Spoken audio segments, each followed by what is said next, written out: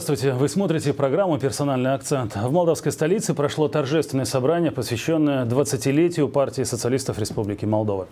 В Молдове уже стало хорошей традицией, когда событиям, связанным с партией социалистов, обращается большое внимание как внутри страны, так и ее зарубежных партнеров. На торжественном собрании присутствовало 10 делегаций из 7 стран Одна из самых внушительных делегаций политической партии «Единая Россия». Во главе делегации депутат Государственной Думы, член Комитета Госдумы по делам Содружества независимых государств, евразийской интеграции и связям с соотечественниками Артем Викторович Туров. И сегодня у нас в студии. Здравствуйте. Добрый день. Накануне вы приняли, как я уже сказал, участие в торжественном собрании, которое посвящено 20-летию партии социалистов. А, у вас накануне прошла и встреча с главой государства, а, с президентом Игорем Дадоном. Вот как «Единая Россия» а, оценивает результаты деятельности партии социалистов и ваши впечатления знакомства с нашим сегодняшним президентом? Ну, во-первых, мне хочу сказать, что партия «Единая Россия» – это партия, которая создавалась президентом нашей страны Владимиром Владимировичем Путиным, и партия, которая в первую очередь реализует ту программу, те направления работы, которые ставит президент. И партия является большинством и в парламенте, и в региональных законодательных собраниях. И мы достаточно долго и эффективно работаем с нашими избирателями. И последние выборы, которые прошли в 2016 году, как раз и подтверждают то, что люди нам доверяют, то, что люди, э, граждане России, поддерживают, и тот курс, в первую очередь, президента нашей страны Владимира Владимировича Путина.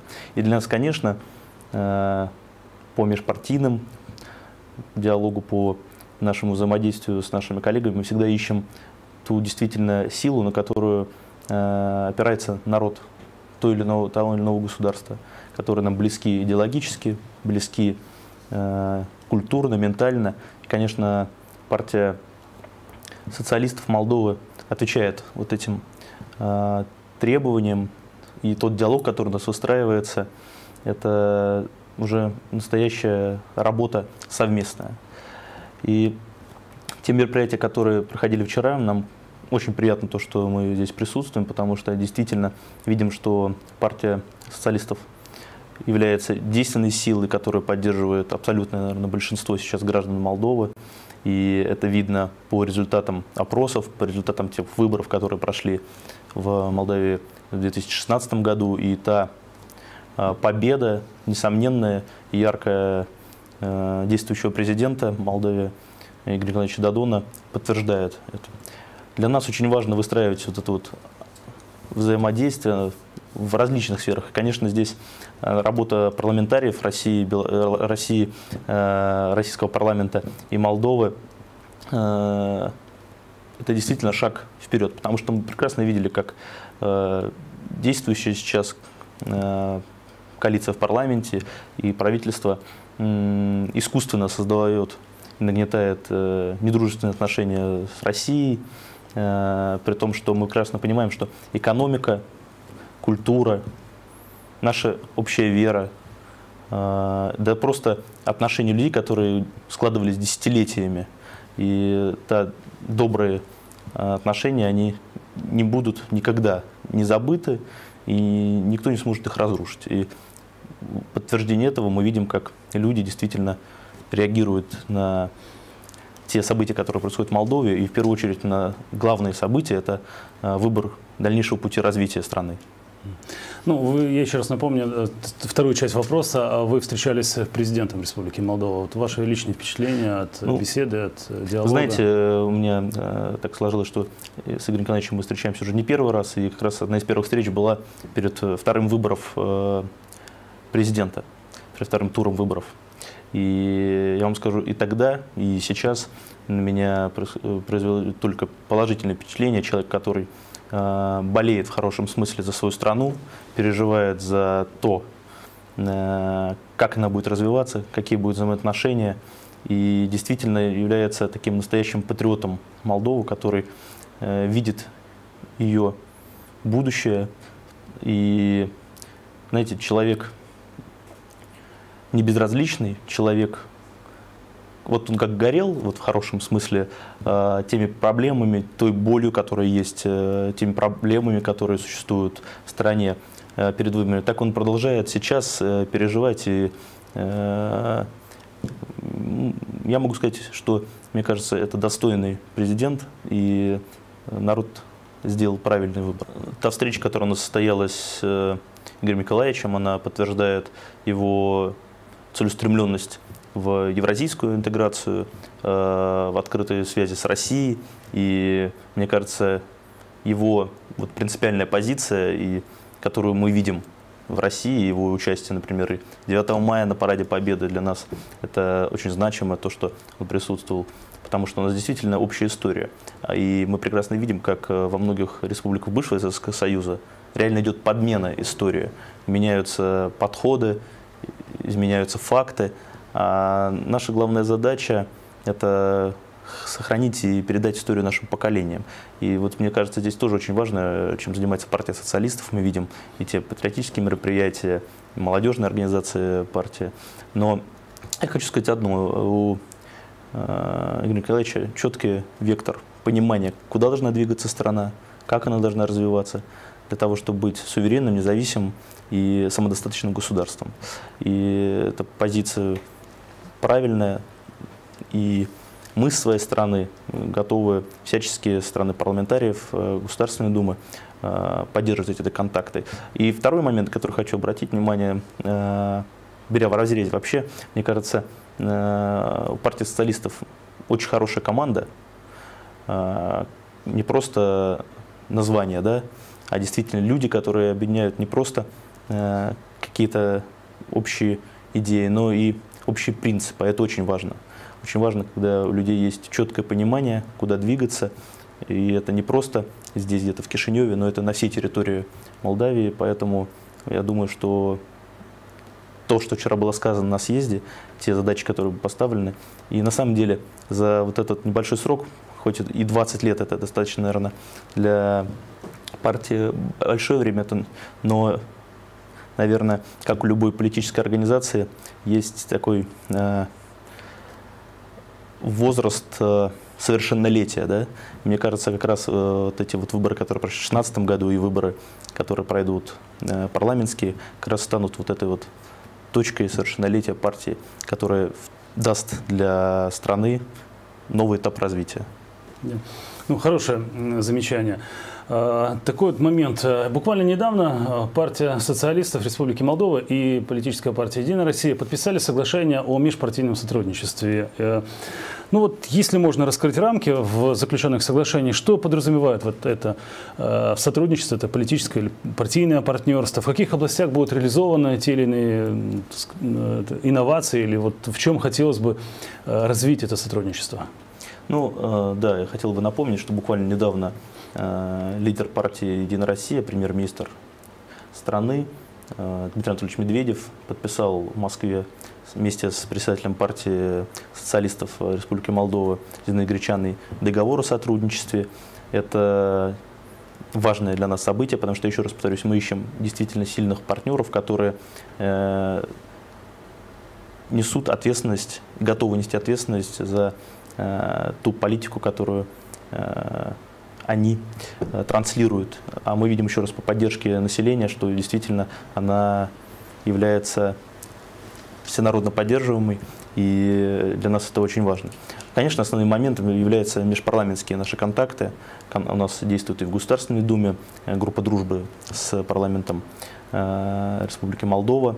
Это, конечно же, связи, связанные с меж партийными реализацией проектов, это и гуманитарные проекты, это, конечно, отдельное направление, связанное с э, развитием экономики, потому что мы прекрасно знаем, что э, достаточно много товаров молдавских э, долгое время не могли поступать на российский рынок, и сейчас мы знаем, что уже э, комиссия межправительственная как раз работает, которая э, в этом плане это тоже, я считаю, достижение действующего президента, э, смог решить вот этот вопрос, который, к сожалению, как мне кажется, искусственно и специально пытаясь отрезать от э, вот этих давних наших культурных исторических связей, действующее правительство Молдовы э, всеми способами пыталось э, нарушить и, э, эту коммуникацию, эту историческую связь прервать.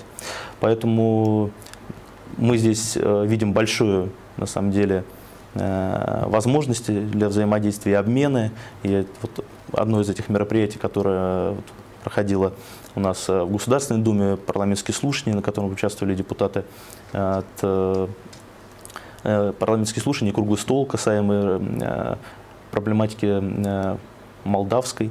Э, мы благодарны, что депутаты парламента активно приняли в ней участие. И вот, мне кажется, очень важен в первую очередь диалог. И мы, конечно, только вместе сможем э, сделать так, чтобы и в России, и в Молдове сохранились дружеские отношения, и в первую очередь, чтобы жителям наших э, государств становилось жить комфортнее, и от этого очень много зависит от экономики, от социальной политики. И я думаю, что у нас есть чем поделиться друг с другом. Ну, если говорить о комфорте, вот сегодня в Молдове сложилась такая, э, с одной стороны, любопытная, с другой стороны, ну, достаточно тревожная ситуация. Да, мы имеем про, э, будем говорить, ну, про молдавского президента, то есть э, президента, который заинтересован в реализации интересов молдавского народа. Они связаны, конечно же, и с Россией, в том числе, особенно с возможностью экспорта наших товаров на те рынки, где нас хорошо знают, ценят. Э, в Европу пробиться достаточно сложно, и о тех широких э, порталах, которых, торговых, которые было, э, о которых говорилось много перед подписанием соглашения об ассоциации с Евросоюзом, сегодня уже подзабыто. Я очень хорошо помню медийную такую поддержку, когда телеканалы Молдовы крутили аудио и видеоролики о том, что дает подписание вот этого соглашения, когда герои этого ролика вот сейчас бы хорошо было бы услышать их, что они говорят. Эм, так вот, герои говорили о том, что ну, будем жить лучше, не будет коррупции. Наши товары рекой польются на европейские рынки, а огромный рынок, там, ну, 500 миллионов населения Евросоюза, как бы готовы поглощать, э, так сказать, вот эти э, объемы молдавского экспорта. Но на деле оказалось иначе Совсем все. Да, во-первых, потому что ведь э, рынок это это и есть рынок, это борьба сегодня, борьба маркетинга, борьба рекламных технологий. И сегодня э, в том же Евросоюзе о Молдове знают, ну, разве что политики и, может быть, часть какой-то там элиты, которая еще хорошо изучала в своих колледжах и лицеях географию. А так, когда поговоришь с кем-то из европейцев и, вот объясняешь, где находится Молдова, и говоришь между Румынией и Украиной. Украина для них там какой-то очаг напряженности, а Румыния это их э, член Евросоюза. И вот там где-то между ними небольшой пятачок земли называется Республика Молдова. Когда опять же с ними разговариваешь, а почему у вас проблемы? То есть вот, вроде как так неплохо устроены. Тем не менее, смотрите, они есть. Есть отчасти, э, как э, вот, нам кажется, конечно же, как последствия вот этого подписанного соглашения. Потому что Рынок есть, а попасть на рынок невозможно. Э, во-первых, э, нужно соответствовать требованиям. С одной стороны, это хорошо. Это дает возможность нашим предпринимателям вывести, будем говорить, на новый уровень, качественный уровень продукции. Это хорошо для всех, э, куда будет экспортируема эта продукция.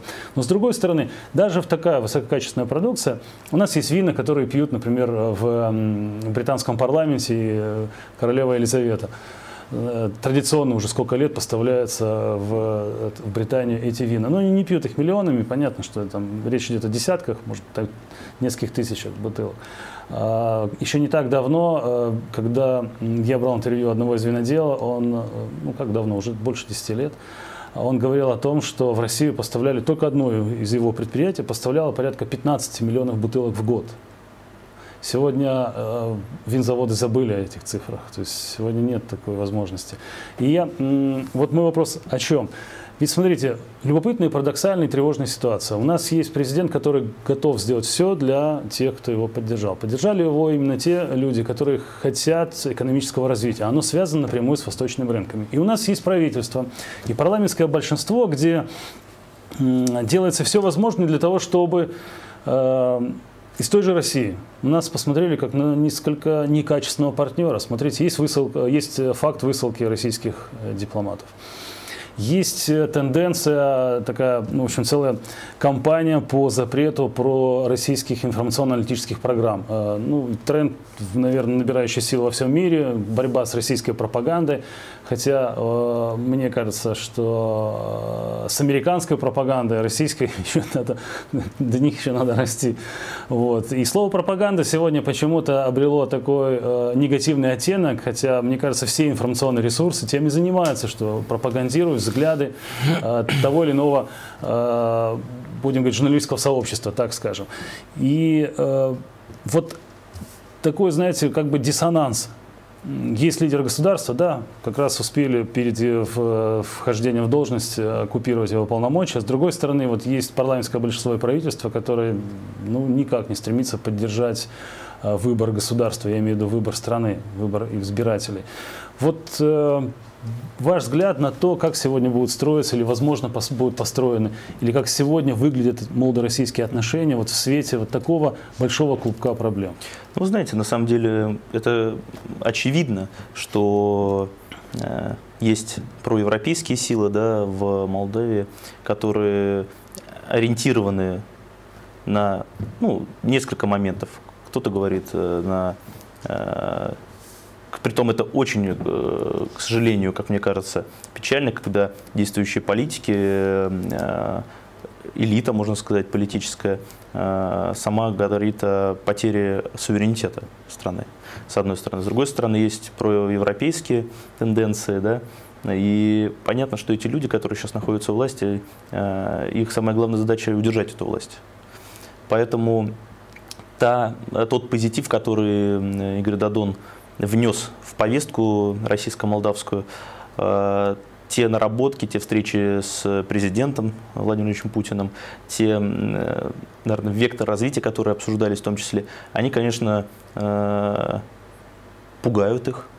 И при том, еще раз повторюсь, при той поддержке, которая сейчас есть и у партии социалистов, действующего президента, она, на мой взгляд, растет.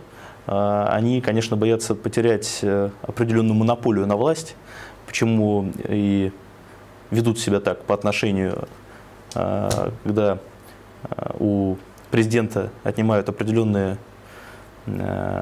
его функции, определенный его функционал, который он действительно мог бы более эффективнее вести внутреннюю и внешнюю политику но это делается специально. Та же высылка э, наших дипломатического да, корпуса, это как раз попытка сорвать вот это вот налаживание и э, позитивную, еще раз э, говорю, повестку, которая начала формироваться при приходе нового президента Молдавии. Поэтому это чисто политическая, как мне кажется, игра, которая направлена только на то, чтобы удержаться у власти. Ну а как коренным образом изменить ситуацию? Здесь, конечно, все зависит от граждан Молдавии, от их э, позиции, от их выбора. И мы вот сейчас вот с вами обсуждали и поставки, да, и э, тех э, исконно, да, молдавских товаров, которые может быть, как вы говорите, не так хорошо известная в Европе, но которая отлично известна в Российской Федерации. Это продукция сельхозпроизводства, э, фрукты, овощи, да, это, э, конечно же, э, те, чем славится республика, это, конечно, винное производство, которое, в принципе, хорошо себя зарекомендовало еще с времен единой страны как качественная продукция. Конечно, мы прекрасно понимаем, когда были и проблемы, когда пытались на территории Российской Федерации страны э, не говоря, качественную поставлять продукцию. Ну и здесь, мне кажется, это уже ситуация... Это же издержки рынка. Конечно, выровненная. Вот, поэтому э, все то, что происходит в страны действующего правительства, это, мне кажется, чисто э, попытка сорвать вот такого позитивного, на самом деле, которого давно не было в э, таких отношениях, позитивного диалога и вектор развития. Поэтому мне кажется, что здесь никого не обманешь, и граждане это все видят и свой выбор сделают. Конечно, э, этот выбор, какой бы он ни был, и наша страна, и мы будем э, принимать с уважением, мы, с, конечно же, с тем рабочим которые у нас выстроены рабочие отношения с э, парламентом, с партией социалистов, мы будем в свою очередь э, этот выбор поддерживать. Ну, у нас большую тревогу вызывает, у, точнее, у граждан Республики Молдова вызывает тревогу и ну, вот недавно открывшийся офис э, НАТО, ну, с одной стороны, его открывали раньше, центр документирования или информатирования, так кажется, назывался. А сейчас э, э, солдаты, офицеры НАТО побывали у нас э, в Кишиневе на площади. Была такая попытка Э, накануне Дня Победы э, устроить э, американский флешмоб, то есть техники НАТО, но не получилось. И вот все, что связано с продвижением НАТО на восток, все, что связано с появлением НАТО в Молдове, вызывает очень ну, такую неоднозначную оценку. С одной стороны, да, и как вот и здесь в отношении Востока-Запада страна поделена и на тех, кто связывает будущие страны с сближением с Евросоюзом, и тех, кто с сближением с Евразийским экономическим сообществом, возьмем, возьмем так уже, Э, обозначим Восток. И, как показывает статистика, конечно же, во-вторых, больше, и это количество э, растет, то есть есть тенденция к росту. Э, это связано напрямую с уровнем жизни. Но, тем не менее, политики пытаются вот играть в эти игры, и вот Э, вызывает ли это озабоченность, какое-то, будем говорить, э, опасение в самой России? Хотя я понимаю, что еще в 90-х годах э, Российская Федерация говорила о том, что мы готовы даже стать членами НАТО, но тем не менее сегодня НАТО, как мне кажется, не является, так сказать, дружественным партнером Российской Федерации. Вы знаете, на самом деле, вот возвращаясь к предыдущему даже вопросу, наши западные партнеры всегда Э, играют, знаете, в такому принципу, ведут работу двойных стандартов.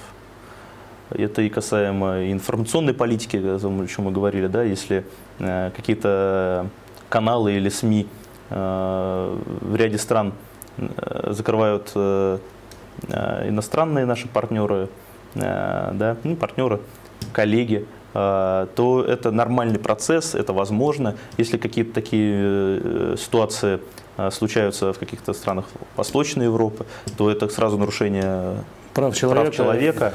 Э, это э, нарушение информационной политики, которая у нас прописана, на самом деле, доступ к информации в документах ООН и в других межправительственных международных договорах, в которых участвует абсолютно большинство стран нашей планеты.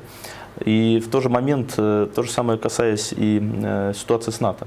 Когда Э, Советский Союз уходил с Восточной Европы, да, э, был подписан договор о том, что НАТО доходит до определенных границ и дальше определенных территорий двигаться не может. На что, конечно, это было этим альянсом нарушено, границы НАТО уже подошли и к Российской Федерации. Конечно, это вызывает и озабоченность, и наращивание э, той э, э, информационного нагнетания, да, которое идет в ряде республик и Прибалтики, и Восточной Европе, которое искусственно создается по отношению к Российской Федерации, и появление новых подразделений на границах э, России, конечно, вызывает э, озабоченность, потому что для нас, конечно, главное обеспечение безопасности э, наших граждан, наших партнеров по ОДКБ, по СНГ. И Конечно, мне кажется, что вот та попытка э, введения, при том, что Молдова себя позиционирует как нейтральная страна, да, которая э, не входит ни в какие именно силовые альянсы, э, попытка это действующего правительства сделать еще один якорь. Если сюда войдут уже Э, подразделения НАТО, они вряд ли когда сюда уже выйдут.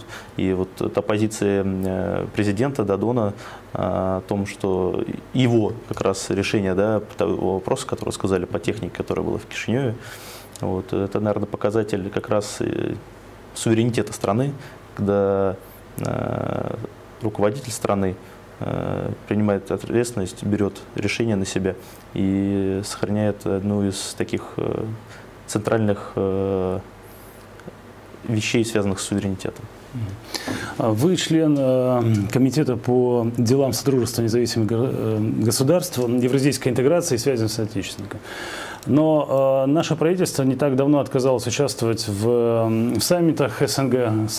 Один из них посвящен 25-летию Содружества, и был саммит глав правительств.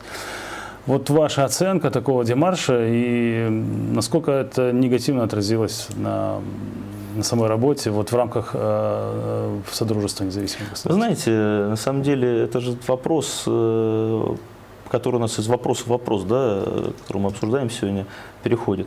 Это все искусственно, специально нагнетается со стороны здесь правительства для того, чтобы, еще раз повторюсь, ту позитивную повестку, которая сейчас формируется, ослабить, подорвать и высылка, и участие техники, и другие моменты, э, чтобы, как мне кажется, наши давнишние человеческие, культурные, экономические которые, к сожалению, сейчас на не так, недостаточно высоком уровне находятся, я про экономику говорю, э, взаимоотношения, сделать еще хуже. Понятно, что э, те люди, которые этим занимаются, они ориентированы э, целиком на Запад. Но даже взглянуть на, мы с вами этот вопрос поднимали, по поставке продукции, да, даже в Европу, ну что у Молдовы есть определенная квота, да, которую она выбирает буквально за несколько Э, это небольшое количество времени в год, и больше этой квоты, к сожалению, она поставить в, на рынке Европейского не Союза может. не может. А те, э, на самом деле, колоссальные возможности по производству сельхозпродукции, которые имеет республика из-за климатических э, особенностей, из-за ее местонахождения, да, они, мне кажется, не реализуются Э, полностью, что не дает э, республике возможности, в том числе экономически, развиваться полномасштабно, так как она может это делать. Вот. А эти вот, э, ну не знаю, мелкие э, такие точечные удары по позитивной повестке, это чисто политические э, вещи, которые, я думаю, даже, к сожалению, э, по ним принимаются решения не здесь, в Кишиневе, принимаются в других странах, находящихся западнее Молдовы. Ну, вот сегодня мы видим что, к сожалению, даже на наших внутренних рынках появляется все больше и больше сельхозпродукции, произведенной совершенно далеко от Молдовы. То есть у нас продаются и польские яблоки, и турецкие помидоры, и они так полноценно конкурируют с молдавской продукцией еще и потому, что а, дотации, допустим, для тех же сельхозпроизводителей в этих странах гораздо выше тех, которые предполагаются или там эпизодически отправляются в адрес молдавских аграриев э, молдавским правительством. Эта система сегодня работает против как мне кажется, э, молдавских фермеров, система, которая ставит их ну, будем говорить, на грань выживания. И мне кажется, эти люди ну, просто фанатично, видимо, любят свою землю, свой труд и не уходят э, из садов, полей. Э, хотя мы наблюдаем, как пустеют поля, потому что обрабатывать все меньше и меньше стали земель сельхо, сельскохозяйственных. И это тоже тревожит, потому что сокращается, видимо, количество э, фермерских хозяйств. И оно и сокращается по причине того, что очень многие люди ищут э, возможность содержать свои семьи, работая за рубежом. И опять же, здесь мы тоже поделены. Те, кто сумел найти работу в Италии, Франции, в других европейских странах, Португалии, и те, кто э, нашел свое призвание вот, на территории Российской Федерации, наверное, одна из самых больших большого, самое большое количество гастарбайтеров именно в России работает. И вот э, взаимоотношения, которые сегодня ну, вот ставят, опять же, на повестку дня работы президента, помочь этим людям э, вернуться на родину. Э, так совпало, что вот вместе с тем событием э, где вы также присутствовали, я говорю, торжественное собрание, mm-hmm. в, в Кишиневе прибыл и такой внушительный э, десант э, бизнесменов, э, которые изучают состояние молдавских предприятий, возможности э, в ну, их, не знаю, инвестирования в них, возможность развития каких-то новых э, технологий. И э, это хороший посыл. Мы понимаем, что это возможность э, быть интересными, это возможность больше, теснее э, связаться, вернуться точнее еще к тем э, незабытым тесным э, связям, которые нас с вами связывали. И все-таки, но опять же, удастся ли вот реализовать все это? Посмотрите, надо менять очень много. Нужно по, мы как, э, член, как наблюдатели Евразийской экономической комиссии еще не, не полноценные его члены. Полноценное членство предполагает, наверное, пересмотр э, соглашения. Но терять возможность э, с европейским рынком тоже не кажется стратегически правильным. Вот э, дружба с Евросоюзом э, одной из, будем говорить, внешнеэкономической деятельности Российской Федерации, потому что это все-таки такой глобальный партнер для всех нас. Но с другой стороны, не хотелось, чтобы эти два полюса э, ну, вот были такими настолько разнополярными, что э, мешали развитию э, этому. И много говорится о том, что Молдова, ну, прекрасный мост между Западом и Востоком, но, но у каждого моста вот есть такой риск. Э, мост может быть разорван. То есть мы, нас опять может разорвать вот эта геополярность. И опять она нас разорвала уже. По, просто пройдите по Кишиневу, пообщайтесь с людьми. И наверняка натолкнетесь на тех людей, которые ну, как бы не, не приемлют э, возврат э, к дружбе с восточными соседями. Но есть, конечно, большое количество людей, которые говорят, что наоборот, нас связывает это, ну, вот это родственные связи практически. Потому что мы все родом из единой страны, и это, забывать об этом не просто не хочется, наверное, нельзя, потому что связывает нас и много, много хорошего общего, особенно в истории. И э, вот насколько все-таки перспективные вот, вот эти визиты э, бизнесменов, сумеют ли они дать новый толчок развитию такого экономической э, кооперации наших стран для того, чтобы это было выгодно и России, и Молдове. Ну, и есть такая мечта э, у нашего президента о возвращении э, молдаван, которые э, ну, не сумели э, найти возможность работы здесь, в Молдове. Возвращение их не просто вернуть ну, насильно, а вернуть им, дав новые рабочие места. Ну, это на самом деле проблема не только Молдавы, но и других стран, э, соседей. Да? Э, конечно же, у нас очень большая диаспора молдавская проживает на территории Российской Федерации, порядка 700 тысяч человек, которые кто-то с семьями, кто-то без семей, э, живут, работают на территории Российской Федерации. И я скажу, у нас очень хорошее отношение к гражданам Молдовы. И, конечно, тот э, вектор, о котором говорит Игорь Николаевич Дадон, это, наверное, действительно правильный вектор. Но здесь, конечно, надо исходить из экономики. И вчерашний э, приезд наших инвесторов в деловой России да, для участия как раз в обсуждении экономических вопросов, возможности создания новых предприятий, в том числе и сельхоз э, территориях, это один, одна из возможностей роста экономики, а значит создание новых рабочих мест, а значит возможность людей э, вернуться на свою родину и здесь работать. Но здесь очень важно, чтобы э, та законодательная база, э, действующая налоговая система, чтобы они были для инвестора открытые, понятные, прозрачные, и чтобы они не менялись в процессе там, э, работы и в этом направлении не шли постоянные реформы, чтобы инвестор мог понимать на, на, хотя бы на э, среднесрочную перспективу, как он может планировать свой э, бюджет, э, свои инвестиции. И здесь, конечно, мне кажется, зависит очень много, в том числе от э, тех выборов, которые состоятся в парламент, потому что э, от парламента действительно зависит очень много, в первую очередь законодательная база, на основании которой работают наши инвестиционные компании, да, работают местный бизнес, э, национальный бизнес. И, конечно, здесь э, очень важна определенная стабильность, определенная уверенность в том, что те принятые там, обязательства одной из сторон будут выполняться в перспективе вложения инвестиционных Э, чтобы те риски, которые несут все инвесторы, конечно, были минимизированы. И э, мне кажется, вчерашняя встреча – это, конечно, один еще из таких важных шагов по укреплению э, интеграционных процессов, включения Молдовы в евразийское экономическое партнерство, в котором, как мне кажется лично, у Молдовы больше возможностей для роста вместе с Евразийским экономическим союзом. Ну, вот не так давно прошла такая встреча у Игоря Николаевича Дадона с, с журналистами. Говорилось где-то более двух часов, задавали самые разные вопросы. А, был целый ряд э, тем, которые, вокруг которых э, роем вились вопросы. Но они, вот один из этих, э, из этих групп вопросов можно ну, выделить такой момент. Очень много спрашивали о изменением избирательного законодательства. Сегодня, вы знаете, в Молдове большие э, споры, дебаты идут о том, менять, не менять избирательное законодательство, переходить э, на такой следующий этап, наверное, развития избирательного права э, к смешанной избирательной системе.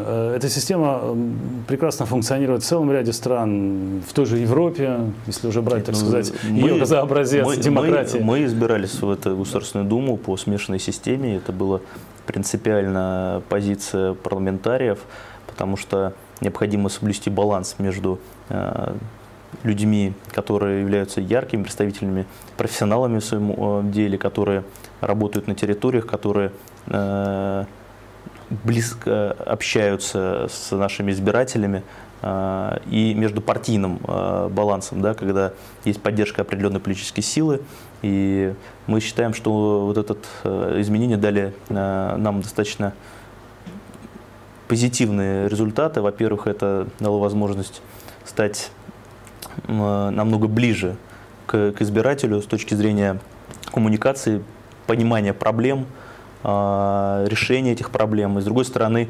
партия несет ответственность по направлению работы партийных списков, э, общественных приемных. И считаем достаточно позитивный результат. И э, даже отношение наших граждан после выборов э, к работе Государственной Думы сохраняет положительную динамику. И вот на протяжении длительного уже времени, а скоро будет уже как год, как избрался э, новый созыв Государственной Думы, мы видим э, позитивное отношение избирателей к работе депутатов. И э, считаем, что вот эта вот схема, которая пропорциональная, да, где 50% избираются партийным списком, а 50% по фамильно являются одномандатниками, дала свой такой позитивный эффект и определенное доверие которая действительно держится на самом таком высоком уровне за всю историю э, современной России к депутатскому корпусу. Ну, у нас вот рейтинг доверия э, в, эпизодически, так сказать, мониторится э, среди избирателей. И э, вот в этом рейтинге доверие к парламенту далеко не на первых позициях. На сегодняшний день к парламенту, как говорится, есть свой счет.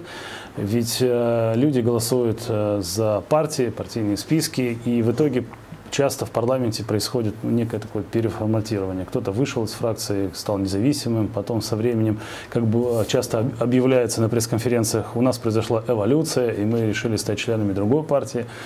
И это очень негативно сказывается на работе парламента, на отношении избирателей к парламенту, парламенту, к этим э, партиям. Э, такой появляется скепсис к самому избирательному праву, к э, вот этой роли избирателя, что вот проголосую, а в итоге вы все равно по-своему все решите. И мы, особенно в регионах, остаемся один на один со своими проблемами, куда апеллировать невозможно. Поэтому, как мне кажется, вот идея смешанной избирательной системы, которая, кстати, была заложена в программе э, партии социалистов, она, наверное, основываясь на опыте, вот на опыте вашей страны, на опыте других государств. В Германии точно так же реализуется избирательное право граждан по смешанной избирательной системе. А, э, это не просто прихоть как той или иной партии, это назревший момент в эволюции нашей республики. Потому что сегодня, наверное, к тем или иным процессам, тому или иному опыту нашей страны пора поставить ну, такой финальный аккорд или финальную точку, идти дальше, идти дальше, развиваться, а не продолжать, так сказать, не тянуть за собой коррупцию, не тянуть за собой шлейф всего негативного, что мы накопили, начинать разворачиваться как-то в сторону Солнца, а то, в общем-то, устали смотреть на обратную сторону Луны. И вот в этой ситуации мы понимаем, что этот пример э, положителен и ну, Э, просто, например, ну, сказать, допустим, привести пример вашей страны, э, России, это одно, но, возможно, есть возможность как-то и помочь в этом опыте, допустим, теми же рекомендациями или поделиться какими-то, допустим, подводными камнями по переходу на эту смешанную систему. Вы знаете, мне кажется, тот договор, который Единая Россия подписала с партией социалистов, он в том числе направлен на гуманитарное сотрудничество, межпартийное, обменом опыта, в, в том числе в ходе избирательных кампаний. И вы знаете, э, наша партия, она системная. Мы э, работаем не от выборов от, до выборов, как многие, к сожалению, политические партии. У нас э, ежедневно работают партийные приемные, У нас депутаты постоянно находятся во время региональной недели. У нас три недели в парламенте пленарных заседаний и одна неделя посвящается полностью работе в округе с избирателями. У нас э, выстроена четкая коммуникация с средствами массовой информации в плане освещения каких-то проблемных вещей. Мы ни в коем случае никогда э, не перестанем вести эту работу, потому что то доверие, которое мы имеем от наших избирателей, мы должны оправдывать реальными делами. Поэтому мне очень приятно было видеть вчера, что партия социалистов э, ведет такую же активную работу и по работе общественных приемных, помощи гражданам юридической, консультативной. Э, вот эта вот каждодневная работа, помощь обычным людям и формирует как раз отношение к э, тем людям, которые работают к партии, к самой политической организации. И мне кажется, здесь наш договор э, о сотрудничестве является одним из таких ключевых в плане обмена опыта, которым мы готовы поделиться с коллегами, э, с депутатами, с будущими кандидатами о том, как эту работу мы выстраиваем в нашей стране. Артем, спасибо вам за сегодняшний разговор. Мы э, рады этой встрече, рады тому, что вы приняли участие в торжественном собрании, посвященном 20-летию ПСРМ. И всегда будем рады, э, когда будете бывать в нашей стране э, добрым гостем. Спасибо вам. Спасибо большое. Вы смотрели программу «Персональный акцент». У нас в гостях был представитель партии «Единая Россия», депутат Государственной Думы, член Комитета Государственной Думы по делам Содружества независимых государств Артем Туров. Следите за нашими эфирами, будет интересно. Всего доброго.